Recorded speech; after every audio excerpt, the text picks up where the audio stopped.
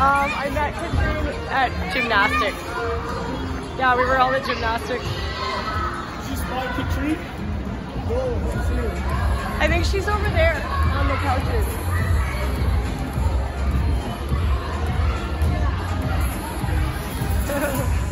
yeah, I made some comment like my youngest had drawn on our white leather couch with pen, and I was like, I can't get the pen out. And she overheard me, so that's how we started our friendship.